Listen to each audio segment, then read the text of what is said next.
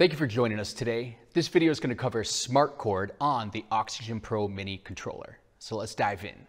To turn on Smart Chord, hit the button that says Chord under Fader 3. If you want to edit this mode, hit Shift and then Chord.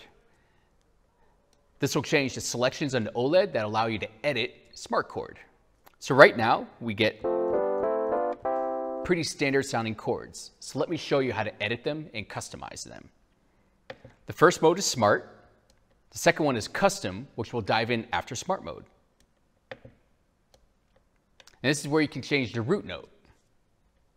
So if I hit in my encoder and move this around, you'll see that you get all the options for the different keys that you can choose. The next one here is your type. You can choose major or minor. Here's an example of that. Minor, then major. The next one here is your voicing. Right now we're on 135, but as you can see, you get a lot of different options here.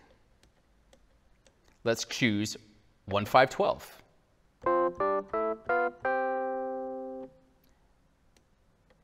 So let's jump back to the main menu here and choose custom. When you push in the encoder knob and turn it to the right, you can now set the notes that will be in your chord.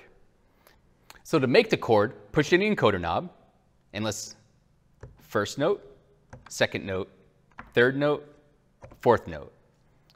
Hit in the encoder knob to confirm, and that'll sound like this. There's definitely a lot of options in custom mode to make a very unique sounding chord. I hope you found this helpful and have a great day.